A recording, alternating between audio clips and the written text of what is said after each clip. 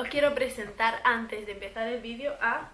Mira quién hay por aquí, uno nuevo, un negro. Hay un negrito.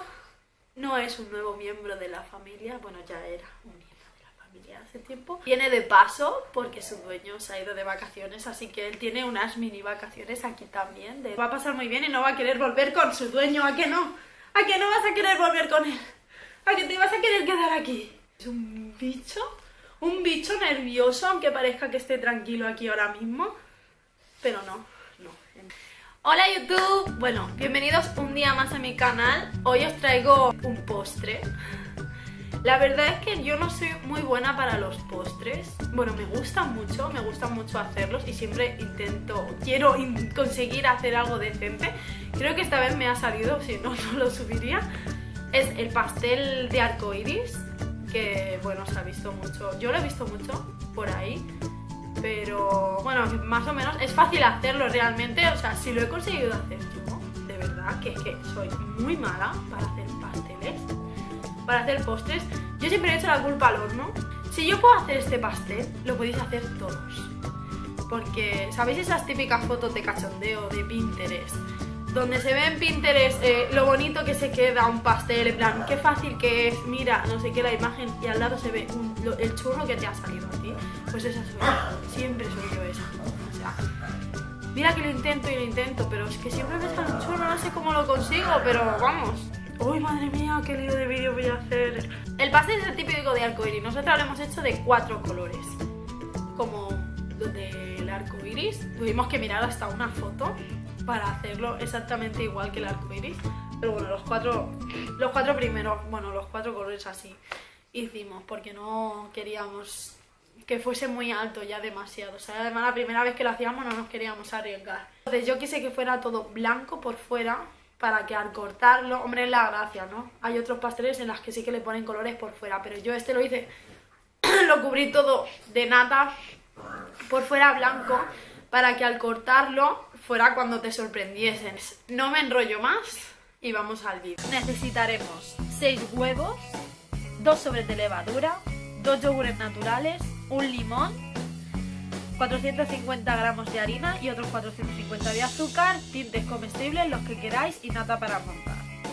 Vale, vamos a empezar pues rompiendo los huevos, los 6 huevos, ahí todos. Echamos los yogures, los dos yogures y el azúcar, los 450 gramos de azúcar. Lo batimos todo, ahí bien. A mi prima no le dio la gana de así que, bueno, aquí estamos tamizando la harina, ¿vale? Los 450 gramos de harina y la levadura, que ahí se me olvidó y dije, mi prima me dijo, ¿estás tamizándola? Yo, ¡uh, sí, sí, sí! Así que tamizar la harina también. Y ahora se remueve todo, que cuesta bastante. Y yo dejo el aceite para el final, eh, para este momento, porque así ayuda bastante a remover con la harina. Es como que lo hace más y este momento, no sé vosotros, pero a mí me, es muy placentero echar el aceite cuando se hace ese agujerito ahí en la masa. No sé, me gusta, es como una especie de placer extraño. Ahí vamos a rallar el limón. Nosotros rayamos todo el limón. Y pues aquí estamos jugando un poquito para ver si está ya bien derretido todo. Y lo echamos en nosotras para las medidas. Como íbamos a hacer cuatro colores, lo pusimos en cuatro platos iguales para hacer las mismas medidas. Todo más o menos que fuese igual. Y este es el momento favorito, o sea, es mi momento favorito siempre. No sé si lo haréis vosotras, os parecerá un poco una guarrada, pero yo cada vez que mi madre hacía bizcocho me comía toda la masa mi prima y yo probábamos y decíamos, nos comeríamos una taza de masa de bizcocho todas las mañanas para desayunar. Y ahí pues estamos dejando bien limpio. bueno, ahora vamos a pasar a los colores. hemos teñido cada plato de color rojo, amarillo, azul y verde. Que sin querer hemos hecho los colores del parchis. Pero bueno, no era la intención tampoco. Como veis, parece el parchis. Ahora, los moldes, que se me han olvidado, es verdad. Nosotros utilizamos dos moldes iguales, vosotros cada uno según como queráis la medida del pastel. Y entonces nosotros lo fuimos metiendo de dos en dos, cogimos los colores, los llenamos bien de mantequilla para que no se pegase y los metimos en el horno a 180 grados, precalentando el horno a 180 grados. Y ahí veis los colores, los cortamos la parte de arriba, la cortamos para que coincida más o menos bien. Vamos cortando y vamos probando que se ajuste bien y que no queden así mucho hueco. ¿No veis? Que se vea bien y luego entre cada capa pues vamos a ir poniendo la nata. Aquí para la nata montada echamos nata en un bote, le echamos azúcar porque suele venir sin azúcar y con la batidora la ponemos al fondo del todo y le damos a máxima potencia al fondo sin moverla y cuando vemos que ya se empieza a espesar vamos, empezamos a subir hacia arriba y ahí ya como queráis la movéis hasta que veáis como queréis vosotros de textura. Bueno, ahí empezamos a poner los colores y poner mucha cantidad de nata entre, entre cada capa porque nosotras no pusimos mucha por miedo a ver si nos quedábamos sin para cubrirlo todo, que efectivamente nos pasó, o sea que comprar mucha nata líquida. Y la verdad es que fue lo que más le gustó a la gente, la nata.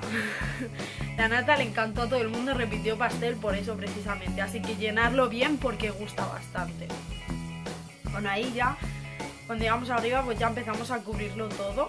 Una paleta lo cubrimos así todo de nata, rellenamos, yo rellené primero los huecos, los huecos esos lo rellené todo bien de nata, así, y luego ya pues empezamos a cubrirlo todo de nata, es todo el rato lo mismo, ir echando nata, nata, nata, hasta que no se vea nada de color, ¿no veis? Ir ahí poniendo, si me iba cayendo, además también he de admitir que comí algo de nata, así que esa noche no cené nada porque la verdad es que acabé bastante empachada. Y bueno, aquí ves ya. Y como yo no tengo ninguna paleta así plana para igualarlo todo, pues oye, el ingenio de cada uno. Yo cogí lo de cortar el pollo. Y con eso así, poquito a poco, pues alisando todo el pastel. Cada uno, mira, no hace falta tener herramientas así de repostería muy finas, porque con muchas cosas te pueden valer. Como veis, quedó bastante liso. Entonces la gracia era esa, tener el, el pastel liso por fuera de color blanco y luego mira, ahí está mi madre con su pastel y cuando se corta pues entonces es cuando todo el mundo se asombra y dice, claro, es la sorpresa cuando ves dentro todo el color. Ya habéis visto el vídeo, os voy a decir una serie de trucos que aprendes cuando ya lo has hecho, los fallos que cometes y para que a vosotros no os pase o daros consejos si lo queréis hacer de otra forma, por ejemplo de más colores.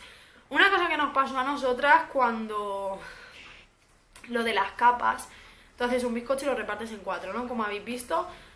Entonces, cuando estaba subiendo dijimos, qué poco está subiendo, no está subiendo y queríamos que subiese más. Claro, no te das cuenta de que después realmente las capas se veían gordas, las cuatro capas gordas. Entonces, lo que tiene el pastel de arcoiris es que son capas finitas de muchos colores. Entonces, no os preocupéis si no sube, porque es que son capas finas, por eso son muchas. Entonces, si queréis hacer de más colores, pues nada, repartir los moldes y poner menos cantidad, porque total, capas finas, se ven los diferentes colores y ya está. Y luego es todo el bizcocho, ¿sabes? Luego no pasa nada. Y nada, bueno, espero que os haya gustado, que le deis a like si os ha gustado el vídeo y que me sigáis en las redes sociales y sobre todo que os suscribáis al canal si os ha gustado y queréis seguir viéndome que a mí me animaríais muchísimo y vamos, me daríais una alegría más grande que 100.000 likes. Y bueno, hasta el próximo vídeo, un besito.